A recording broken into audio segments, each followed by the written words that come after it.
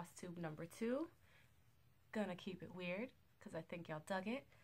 Um, so I'm back recording my second video. Um, I recorded a few clips, so this one might be a bit choppy, but I kind of wanted to follow along with the progress as I was going um, and to show you different things. And I have crap spread out all over the house. So the lighting isn't great, so I had to kind of pick and choose where I can film when the lighting was good. Um, but I think you guys will understand, and it'll be the best way for me to show you everything that I have going on, which is a lot. Um, quilt projects and all sorts of cross stitching, fabric dyeing, making bags, and you know, all the fun stuff that keeps me happy and sane. Mostly sane. Um, but before I forget, I wanted to start out by thanking a few people. Uh, Emily C. She gave me a great shout out, um, Eclectic Possessions, in not the video she just posted, but the one before. And it just brought a lot of traffic uh, to my little first floss tube. And I want to thank you so much. Um, I really appreciate it. I appreciate that you took the time to do that. Um, Kelly, the Evergreen Needle, she gave me a little shout out on Instagram in the stories.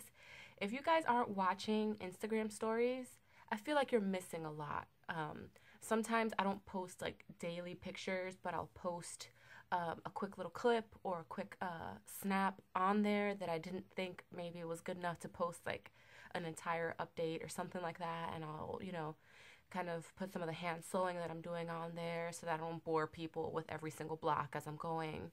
Um, and a lot of people just post little snippets of their regular life on their Instagram stories. So um, if you guys aren't checking them out, I really highly suggest that you do because you know you're missing some pretty good and a lot of times funny content, not just from me, but from everybody out there. So if you guys don't know what that is, um, it's the tiny little bubbles that you see on the top of like the Instagram home screen. So it'll have like different profiles. Just go ahead and give it a click, and you'll be able to watch. Um, you know, short clips, pictures, uh, boomerangs, you know, which for those that get a little motion sick might not work out too great, but there's not too many of those. Give it a shot. Um, you'll get to see some more of my stuff that way because I don't post every day. Um, also wanted to give a quick shout out to Kara. Is that how you say your name? From Kay's Cross Stitch. Someone pointed out that she had given me a shout out because um, I had popped up as, you know, my first floss tube. So she gave me a watch and I really appreciate it. And I have a little thank you recorded for you. And I think you'll see what it is later. So um, if somebody wants to give her a heads up, I'd appreciate it. Um, and also, lastly, to McKenna at Every Stitch Counts. I just finished watching your video where you so kindly took the time to give me a shout out and to talk a little bit about my projects. Um, so I really appreciate that. And I'm going to show you the needlepoint that I told you that I was going to show you and um, I have a finish that I think might interest you as well. So thank you, and hope you keep watching. And for everyone else that's took the time to taking the time to watch, to like, to comment, to subscribe. I really, really, really appreciate it. It means a lot. I know this community is awesome, but when you guys take the time to do that kind of stuff, it, it really means a lot, and I appreciate it. So keep coming back, keep watching. Let's keep getting weird with one another. You know you like it. All right. So let's move on to, you know, what you guys are here for the good stuff. Um, trying to figure out what would be best to start with. I guess I can go ahead and show you some needlepoint. I found my first project, like my first actual, actual project. It's a little flat fold. Um, I started off easy. Um, and even back then, y'all, I was keeping it weird because this was done in bright colors and I converted it. So um, it's kind of like, um, what do you call it? Like a modern interpretation of a floral uh, design.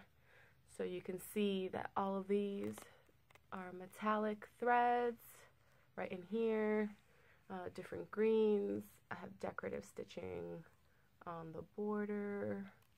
I don't know if you can catch that. I might have to switch the camera so you guys can see the details better on this. But um, this was finished incredibly. You can see the metallic trim. Here's the back of the flat fold. Give you a little peek.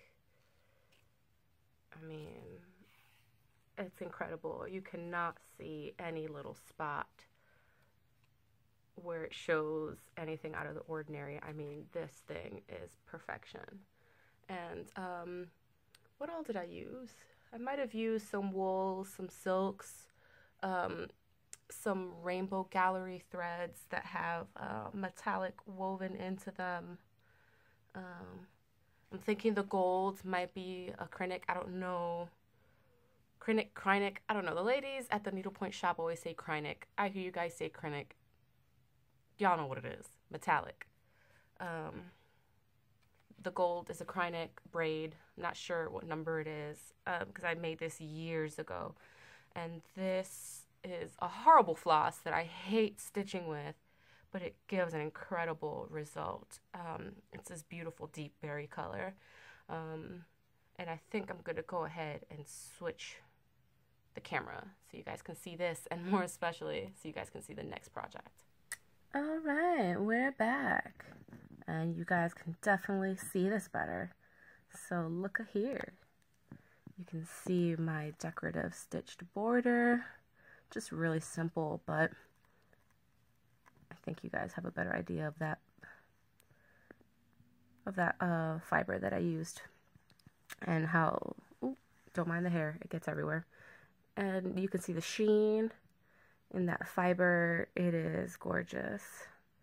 You can see the shimmer and the metallic. And I think I did a pretty good job for my first project. Give you guys another quick look at the back so you can see how great this was finished for me. Like, you can't really see anything there. That's done pretty well. Um, needlepoint, y'all. Alright, here's my next one. Here's the one that I told McKenna that I was going to show. Oh, yes. Yes, you guys are not mistaken. The people that have been following me a long time on Instagram may have seen this when I first posted her. But this is the Dolly Llama, y'all.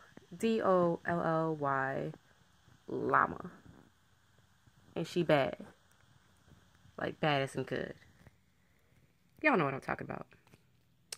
Let me see if I can keep this from shaking too much and show you guys how much of a bad bee she actually is. These ears is a stitch called Turkey Work. Um, and I finished her years ago, so you're technically supposed to cut this and then like really fuzz it out, but I kind of like how it looks. Um, you can see just how much that stands up off of the canvas. She got some fur in her ears. This is this is all thread and fibers, y'all. Come on. If you guys didn't know this existed, get thee to a needlepoint shop and you will be amazed. Um, she also has fur for bangs. I gave her eyelashes, y'all. She has the best set of falsies this side of the Mississippi. Mm-hmm. She has these metallic little coffee brown eyes. She has a suede nose. That feels so nice. Got some metallic lip gloss because, you know, she's from the early 90s and frosting was big back then. Um, decorative stitching and I kind of blended it out into her cheek. You see I, can, I blended those flosses um, and continued it down here to some backstitch curly cues. We got some more fuzz over here, and this fiber is actually really interesting as well. You can see that it has like a little kink to it. And this portion of the background right here, that's a, tent stitch, uh, what I call um, basket weave. And um, that's kind of the basic. You can do anything in this basket weave, but then, you know, you can definitely move out to the decorative stitching um, like I did in other portions. Um, and there are books with this stuff. So, I mean, you can use hundreds and hundreds and hundreds of stitches to get pretty much any effect that you want. And I did this background um, with a and I think the yellow is actually a pearl cotton. Um, and it almost looks like a real pretty wallpaper. Um, I'm gonna get close. Hopefully you got, I'm not making you guys sick. But you can see that it is slightly multicolored. It has like these tiny fibers and pinks and greens and yellows and blues. So basically all the colors that are in the actual llama.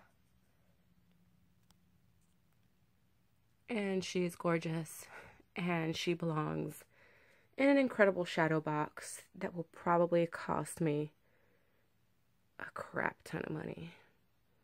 But I'm hoping that finally, maybe this year, I can get her done because I feel like she needs to be up on a wall. Baby has been in a corner for far too long. And you, you know how it goes. Do I, do I have to say it? Nobody puts baby in a corner, y'all. Nobody. So my little Dolly Llama, I need to get her framed and um, professionally. Probably not at Michael's or Joann's. I need to find someone that's really well versed with uh, needlework because she fancy. Mm-hmm. All right. Let me get back to our regularly scheduled program and see if I can prop you guys back up again so I can have the use of my hands. So if I'm not mistaken, I'll be putting this in somewhere. Not quite sure yet, but um I think that uh, you guys know what the deal is with this. This is a needlepoint. These are some pansies, and I'm including this as a thanks uh, to uh, Kay's Cross Stitch that had given me a shout out. Um, I think that she's into them, and this was one of the first bigger projects that I'd worked on. And um, I gave it to my mom. I got it professionally framed. And here you can see some of the close up details. Um, this darker area right here, that's all done. I think in um, Rainbow Gallery Very Velvet or something velvet. It's a velveted thread and it feels so nice. I just love it. Um, as you guys can see, the framer did an incredible job. He got right up to that border that I did with a double matte in purple to match the flowers and in white to make it look crisp and kind of like that burnished gold frame to echo the border that I'd done to it. Um, and this project is done all in decorative stitching. It's all really simple, um, but it's all decorative stitching. Um, and I was really happy with it. It hangs in my mom's kitchen. She loves it. And I have to see what else I can dig up to show you guys. Okay, here we go. Another clip. I think I've realized that uh, this one's going to be a little clip-tastic. Hopefully you guys don't mind too much, and hopefully I'm not moving around the camera a ridiculous amount. But this is a current WIP of mine. It is a baby quilt that I am making. One of the, oh gosh, three or four that I've made so far this year. Um, but these are economy blocks. Um, the centers are mostly fussy cut and I've I've chosen some contrasting solid fabrics um, to make up the rest of the block and I think it's coming out pretty cool. I might make some larger blocks that are the size of four of those blocks put together um, because there's this larger print that might get lost if it gets cut that small so that might get added to the mix but I'll let you guys see. Here is the little um, little production line that I have set up with the next few blocks. I'm sorry if I'm wiggling this too much. But those little hatch marks in the fabric, I've folded the fabric so that I can match the corners and get precise blocks when I'm piecing. So those two little lines would get matched together like that. And that's that's how I know that the triangle here would be centered with the block.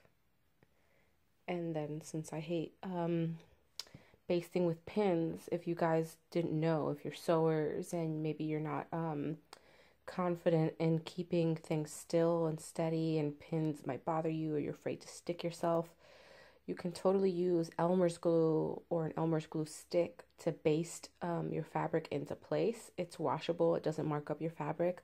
All you need to do is hit up a tiny little line. You don't need a lot or a few dots. Place whatever you want to quote unquote pin in place on top of it and then hit it really quick with an iron.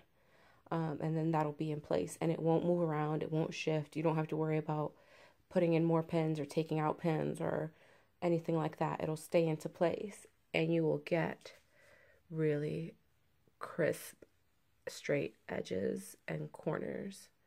Um, so that's a tip for you um, I have these next four cut out and then um, I have a few more that I want to do.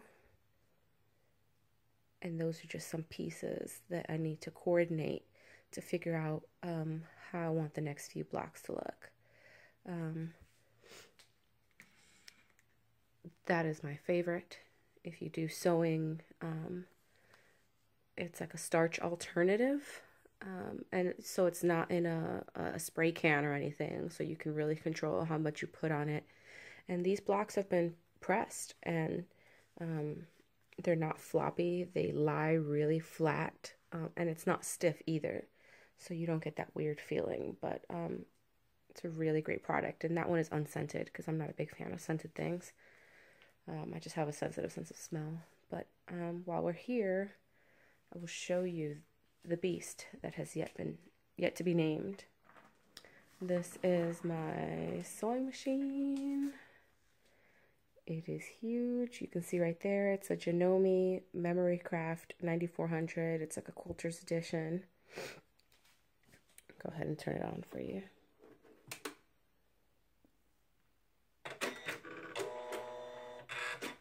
Oh yeah, y'all, we're fancy here now.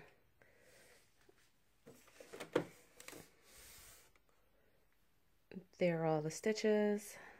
Um, to be honest, I haven't even tried most of those because I haven't had a need for them. But I did want a bigger, stronger machine. Um, I was really struggling with um, some of my quilts. And I still need to take lessons on this one. But it is an incredible machine. It has the button to put the presser foot up and down, to put the needle up and down, reverse, thread cutter, which is oh, my favorite. And the speed, this thing is a speed demon. And you can see I have all of this area open for sewing and quilting. And I have a really big table attached to it. So over 20 inches of space, considering the rest of the space of the throat. And right now the machine has a straight stitch uh, plate on it, which means, you know, no zigzagging, no decorative stitching. This is just when I want to hit pedal to the metal and piece like a beast. Um, and I really love this feature of the sewing machine. And let me show you. Look here. About to blow your minds. What? There is more light and it's adjustable. You probably can't tell right now, but this thing is bright as all get out. And it really helps me see all in there and see around the needle and the presser foot just to make sure that I'm sewing where I need to be sewing and I don't realize that I'm not too late and after the fact. Maybe one of these days I'll film something of the machine in action, but I wanted to show you guys. And if you guys can think of a name, you know, maybe mull it over. Maybe after a few more uh, FlossTube videos, when you get to know me a little bit better, drop me some suggestions. Uh, the more badass, the better. All right, let's move on to something else. Did you guys miss my face? You did, right? All right, so now I'm back for, you know, my haul. Haul, y'all. And the first thing I'm going to show is to call out Emily C because she's a horrible human being. Showing off all these wonderful things and patterns and stuff as if we're not going to get tempted and go off and immediately buy something. So when she showed off all her samplers, I went off and bought something. Like I literally found it as I was watching her daggone video. Weeping Tree Sampler. Come on now. This thing. It's adorable. And you know, in my head, none of it makes sense because it's not stuff that I'm usually into, like houses and alphabets and all that jazz. But I've kind of taken a deep dive into uh, like tombstones and mourning samplers. Um, and this kind of just fit the bill because it has um, a version of a willow. It's called the weeping tree, but um, willows are often portioned like in mourning samplers because um, they're representative of like death and mourning and sadness and that kind of thing. And I just really like the imagery. Um, but what really drew me to this piece was the words that are on it. Here my work forever stands, the labor of two busy hands. And as stitchers, you know that we always have to be working on something. Like you just don't feel right if you're not stitching. So, I don't know, the sentiment of this really just kind of blew me away. And I love the house. I love how the tree is set up with little letters dangling almost as if they were leaves. I just really liked it and I needed to order it and I ordered it and got it immediately. I just couldn't wait. Um, so thanks for everything, Emily. I'm just kidding. I kind of secretly love it. Um, before I showed you, you know, some more of the weirdness, I'm going to show you something cute that's actually in my stash. It's been in my stash for a while. Um, but I've been thinking of kitting it up soon so that everything that I'm stitching isn't just like dark, macabre, and weird. Um, you know, a little brightness in my life. Um, a portrait of Santa. I really like this. I have a thing for Santa Clauses. Santa Claus, plural, Claus. I, you know, y'all know what I mean. I like stitching Santas so this guy, I mean, look at the expression on his face. I think he's just absolutely beautiful. And what really drew me to this chart were the variety of ways that you can stitch him. Let me see if I can get closer. They've got him here on a really large Afghan. And they have him here on a pillow. So he can be stitched in a variety of ways, and I haven't made up my mind yet how to like how I want him. Do I want him on a large count like Afghan? Because I kind of feel like that would be pretty dope. Do I want him on a pillow, or do I just want to stitch him up and have him framed? Um, the only thing that I'm not crazy about, and I'll just give you a quick peek, is that the chart is in color. Just not a fan of it. Um, I'll probably end up making a working copy and hoping that, that works because um, I do mark my working copies. I like to highlight or else I get lost. But look, that's the chart. Like, it's really in color. That looks confusing as hell. We'll see. Y'all, don't mind my hair. My hair looks crazy. It's been really rainy. It does, it just frizzes out and... Moving on on to, you know, some of the weird stuff. This is stuff that I've had like waiting in the wings forever. Um, today is, let's see, what's today's date? Today is June 25th, Sunday. I placed my Stitching Bits and Bobs order on May 20th.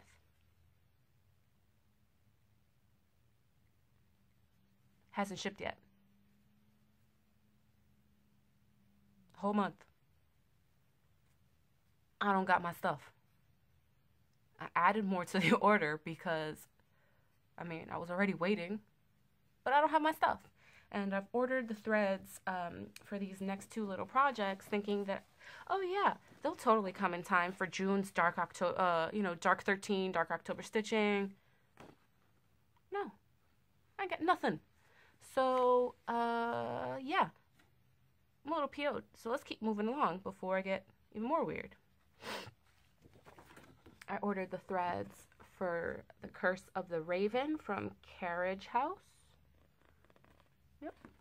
Carriage House samplings. Adorable. Ashes to ashes, dust to dust. The little raven. I love it. I'm not doing this on a 40 count. It's not to happen. It's getting done on 32, and it's going to be happy about it. Because it's going to be joined by this one. The Raven's Roost by The Goode Huswife. Now I know that these are definitely out of print and a little harder to find, but I've seen this a few times since I've purchased it. So it's not impossible, and most of the time it does go for a reasonable price. Cuz I didn't pay a lot of money for it. I mean, I do hunt down out of print charts. I'm not going to lie. But I don't pay a fortune for them cuz I ain't got it like that. But yeah, this is going also on the same fabric that I'm doing the other one and I'm pretty sure that I showed this in my stories and I might have even posted, but I dyed this. This was originally the fabric that uh, Celtic Lads was supposed to be on, but I bought it kitted up and um, it was too small. So I hit up the person that I got it from on eBay and I was like, hey, uh, you know, I can't use this fabric. And apparently she has a huge stash from like a needlework store and she sent me the correct fabric for uh, Celtic Lads. So I used this piece um, and I dyed it. I aged it. And I'm going to stitch both of the tombstones on it. Um, I dyed this with coffee and with tea. Um, a la Vona's method. And it's really light, but I think you guys can see the modeling, especially when I let the light shine through. I think it's going to look really nice, y'all, on this. So as soon as I get my Stitching Bits and Bobs order, I'm going to start that. But right now, I'm kind of just uh, waiting in the wings. So that's part of my little haul. All right. So since I haven't gotten that order, I haven't been able to start the Mirabilia conversion process. But um, I wanted to show you guys my DMC card, my color card. So bear with me while I'm looking up something here.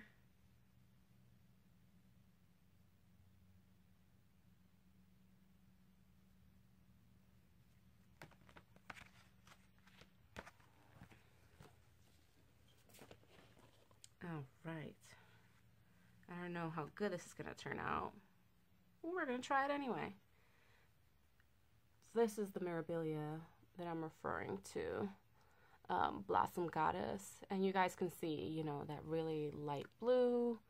Um, and those like pinky purples. Those are kind of okay. But I'm not really crazy about the blue in her dress. And the orange and the sash and the flowers that are in the bottom of her dress. So I'm going to change that. Um, and you can see I started out my little um, conversion thingy-mabob right here, listing all the flosses and what I was thinking to switching them to. Um, and for those that haven't seen one, I'm going to go ahead and show you. This is what a DMC floss colored card looks like. So here you have their entire range including the metallics, the variegated floss, glow in the dark ones, all sorts of stuff. Okay? So, what I was thinking is to probably do her dress somewhere in this range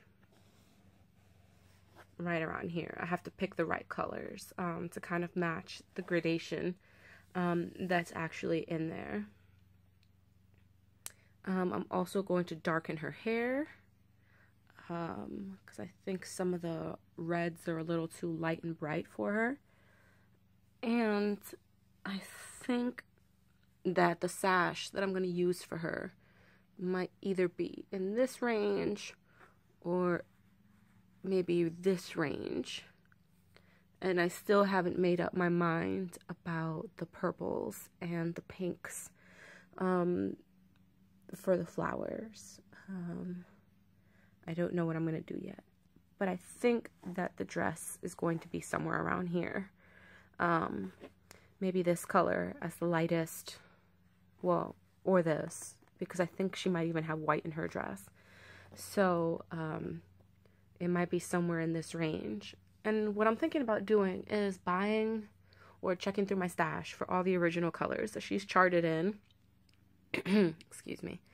And um, then buying the ones or finding the ones that I already have and going from there and making sure that I have the appropriate gradation um, for my conversion.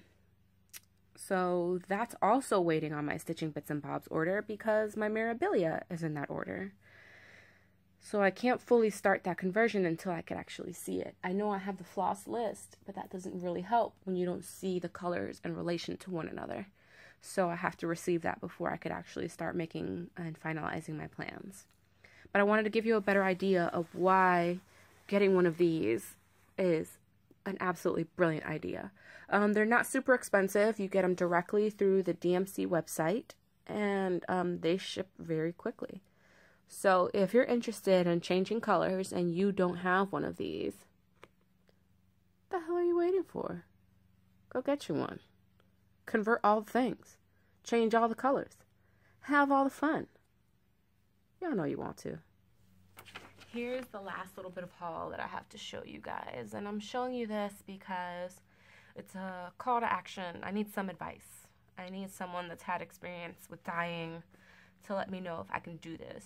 So if you don't know how to do it, but you know somebody that does, ask them for me because I need help.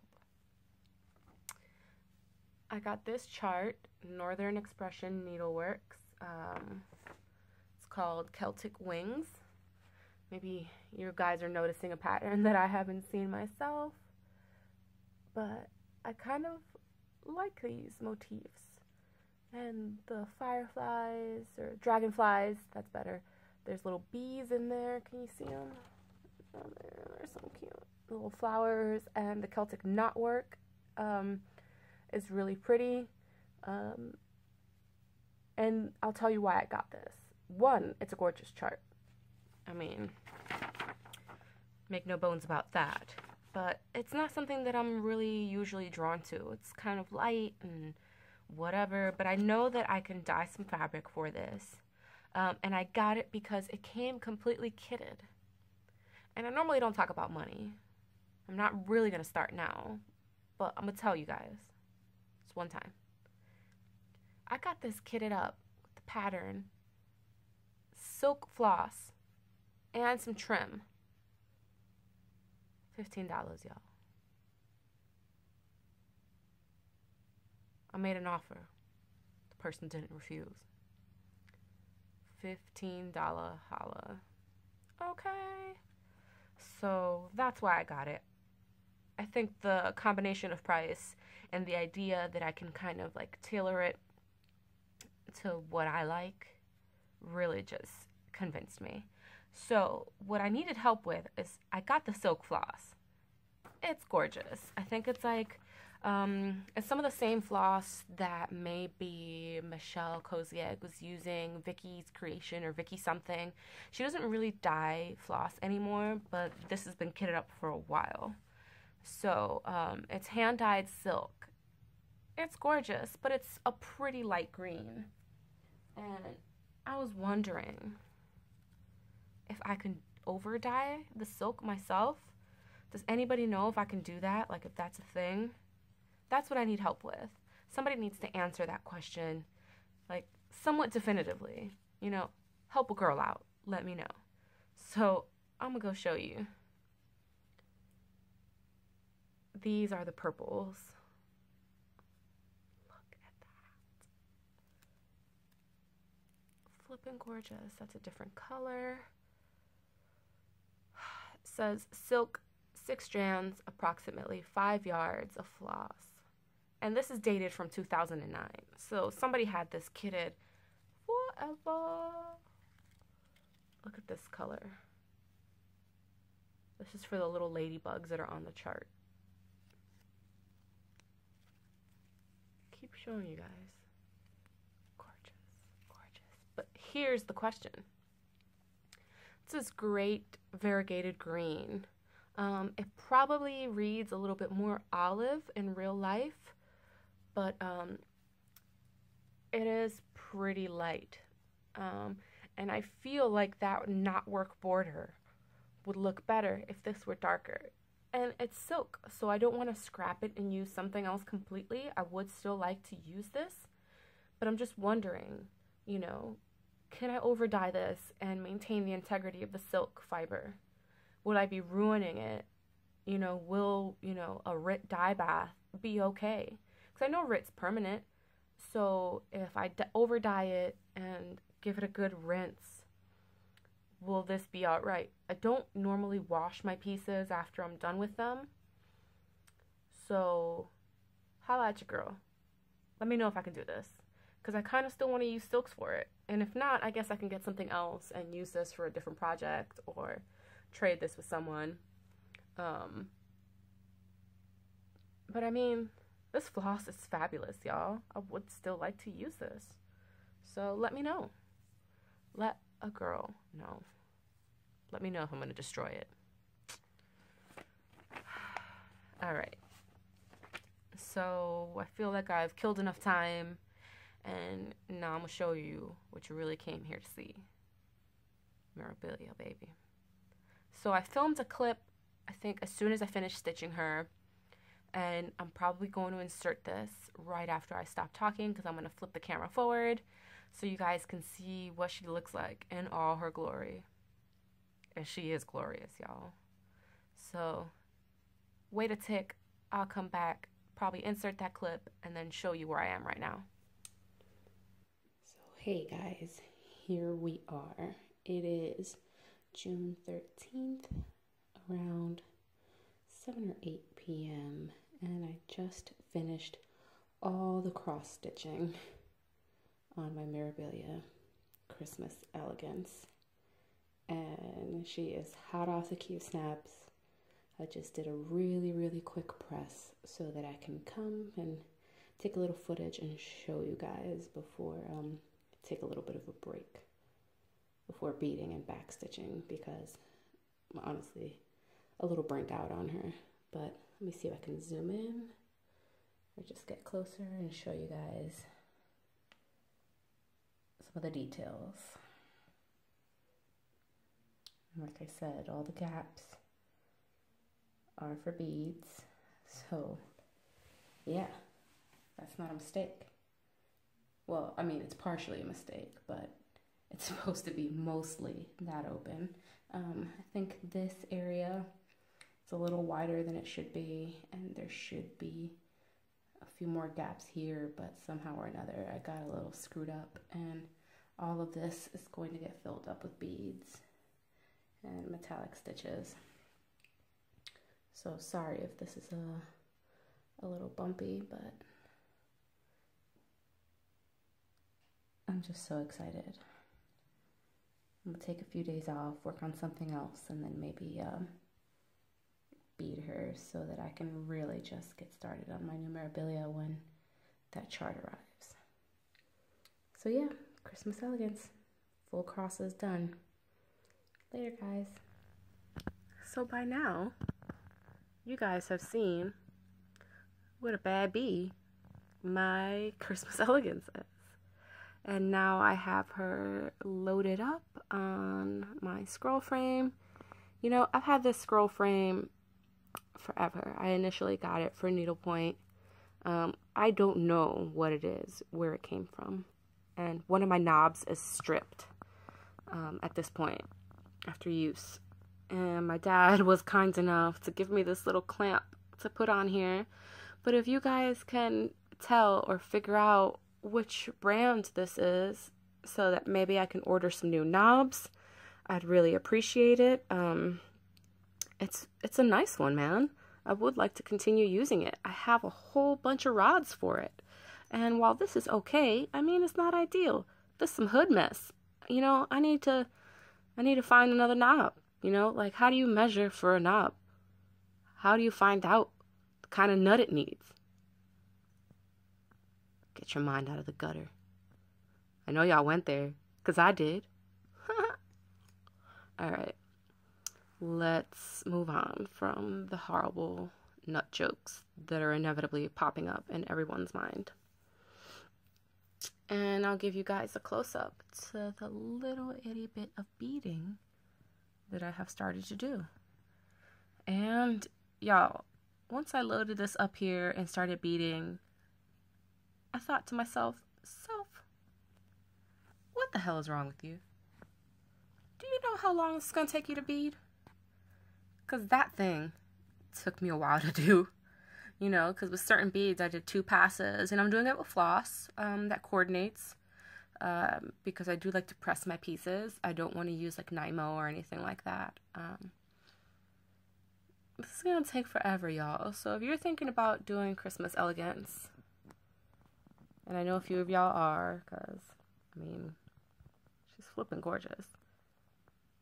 Think about it. Think about it long and hard.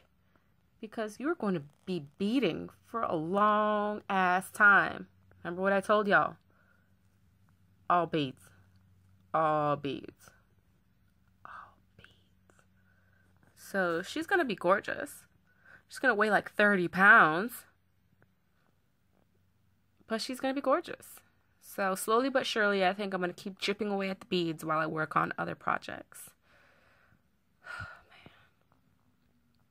Beautiful. And don't forget, help me out. Find me a knob, a nut, how to measure a bolt. Keep your minds out the gutter, people. Keep it clean in here. I'm just kidding. I know y'all are just as weird as me. I have one more thing to show you. And I think it's what y'all been waiting for. Just wanted to do a really, really short clip to show you guys my progress on Celtic Lads. Um, because I'm stitching in some natural light and I've never been able to do like an accurate picture of um, the silk floss that I'm using for this one, uh, which is this green right here.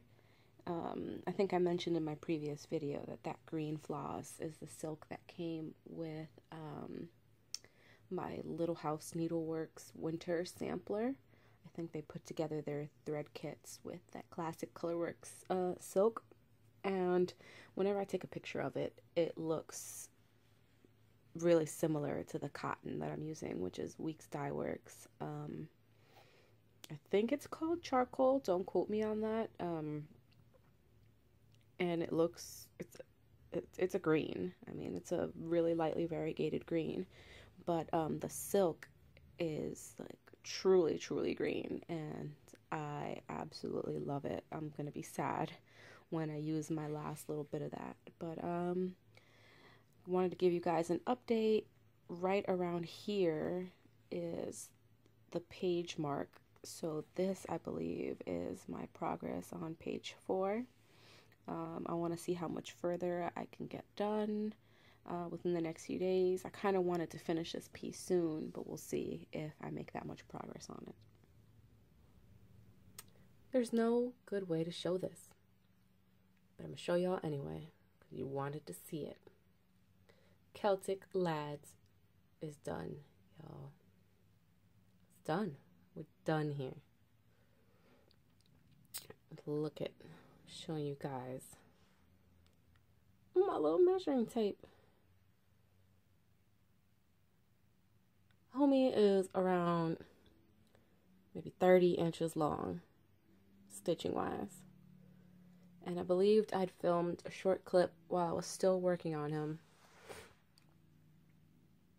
that I'm going to insert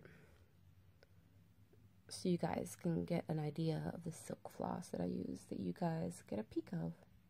Alright, cheer. See the green? Now both of these flosses are green.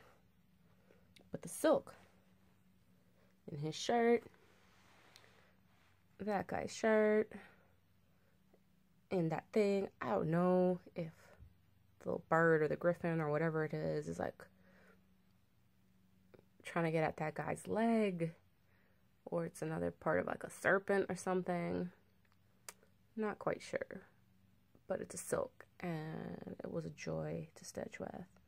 Um, the other color that I used, I believe, um, was a Weeks Dye Works. I will put the name of the shade um, in the description below, but it is also a green. It just doesn't look like green. The name doesn't sound green, but I assure you, in real life, it is green. Um, like I mentioned before, I bought this kitted up, but the fabric was too small. So the lady on eBay, I think, was selling it uh, part of an estate, and I acquired it that way. Um, and she sent me uh, the appropriate cut of fabric, um, which allowed me to dye the other one for um, my tombstones. But um, it's a 32 count linen. Y'all know the deal. Um, and I didn't dye it or anything because, I mean, this is already going to be hard as hell to find a frame for, and it's already a pretty busy and intricate design. Um, so I didn't want to overwhelm it with like too much more stuff. Um, but yeah, I think I used eight skeins of Weeks dye work, dye works. Um, five of them came with the kit, but I got a pretty good idea early on how much I was gonna need, so I ordered five more from 123 Stitch, knowing that the dye lot was going to be different. But at the end of the day, um, I think it works well because I was alternating dye lots as I went down to kind of also increase the variegation. Although the variegation in the floss itself is very, very subtle, um, I just kind of mixed in a skein from what I acquired on eBay with the more recent dye lot. Um, it looks really good. Um, I have two leftover skeins, but it's a really nice color. Um, and I know that I can use it in other projects, but I'd rather have had it and not need it than need it and not have it. Y'all know the saying. Y'all know how it goes. Um, I'll just keep it in my stash and add it to some of the other stuff that I have going on. Um, I had had it in my head that I was going to try to frame this myself, but I don't think I'm going to be able to do that. Um, I might not take this one to like an actual needlework framer. I think they might be able to handle this like Michael's or Joann's. But I'm going to go up there and grill them and talk to whoever does the actual needlework framing because I need to assure myself that they're not going to wreck my stuff. But um this piece is just too dope to have sitting around not getting framed. So as soon as I get that done, I'll report back. But you guys can see that um, this pattern was a lot of fun from Courtney's collection. Courtney collection? Yes, I think that's right. Um, it begins and ends with the same little guy. So the, the motif repeats itself. The border is exactly the same all the way up and down the sides and on the bottom, the corners. And that guy up there is the same as this guy right here. And right here in the center is where the design starts to repeat itself in the opposite direction. So I thought it was pretty clever. It was really great. It was a lot of fun to stitch on. It works up really quickly. Um, and while I haven't seen this online at very many places, I'm pretty sure that it's not out of print. Maybe if you can find the actual Courtney Collection website, you might be able to purchase it through there. I'm not sure. Um, if I find the link, I will include it in the description below. Um, but like I said, I got it on eBay. But if I can find a place that still sells it, you know, I'll hook y'all up. But um, yeah, this is it. This is my finish. Um, I don't know when I'm going to be able to have a new start because all my stuff, literally all my stuff is being held up by that Stitching Bits and Bobs order. The floss for my uh, tombstones my Mirabilia, and the chart for my uh, Salem Not Forgotten. Uh, Sal is in there as well. I have that fabric ready to go, you know, and everything is being held up by that. So I might just move on to another one of my uh, current WIPs while I'm still waiting for that mess. But um, like I'm getting the itch, y'all. I added to that order once. I don't want to have to do it again. But um, I'm just I'm I'm pretty annoyed, and I want to get my stuff. But y'all know how that goes. I have more than plenty to keep me busy and occupied. But once you get that little itch in the center of your palm, you know, new stitch, new stitch, new project, you know you want to start something. You know you want to start something real bad. And I'm at that point. I'm ready to start. Because right now, I finished all the stitching on my mirror. I've finished all the stitching on this. I need to put something in that rotation. And and don't mind my my Genki dresser. Um I chalk painted it because it was a little too country for my taste, that dresser.